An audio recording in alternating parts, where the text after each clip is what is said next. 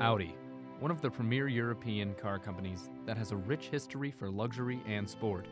Their German engineering brings all aspects of luxury, practicality, and speed. And thus, we get the Audi 90 Quattro. And here it is, guys, the perfectly 90s retro compromise between sport and luxury. Why, why don't you tell us about your Audi? It's a 1994 Audi 90 Quattro, and it's extremely stock. and I use it as just a daily driver, winter beater, all around decent car. All right, cool, let's check it out.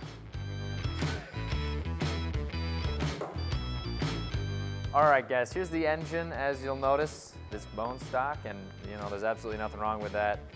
You'll notice that a stock car is usually the most reliable, and he said that this is pretty reliable. So why don't you, you know, run through, run us through it. What, what is this engine offer you? It's a 2.8 liter single overhead cam V6, uh, 177 horsepower, 183 foot-pounds of torque.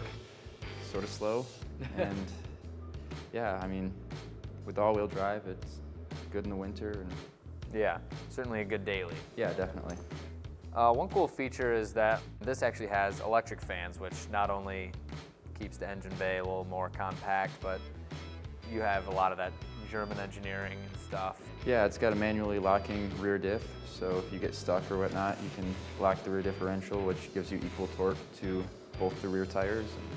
You have these little uh, retro uh, headlight washers. Yeah, those in theory spray just windshield washer fluid on your headlights, but they don't they don't work on this car, so.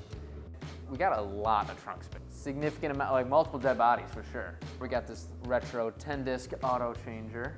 One cool feature that you showed me is what we are calling the ski condom. So for your typical Audi four-door, this car actually looks pretty good. You know, it's got the nice little four-door setup.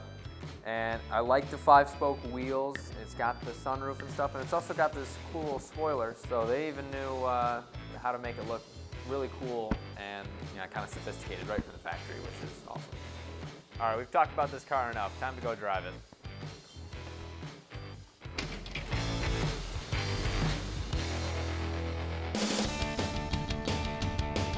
So first thing I notice when I get in here is this real nice hardwood trim. Would you say this adds a level of classiness to the car? Definitely. Make it feel like a big shot? Definitely, yeah. And obviously you have your modernization accessories such as the cassette player aux cord. Definitely. And the cigar lighter phone charger. So it's got this cool, actually digital gauges, which isn't common for early 90s cars at all. Yeah, it's completely automatic climate control. You just set the temperature you want and it'll adjust everything for you. It's almost nicer than my parents' car, man.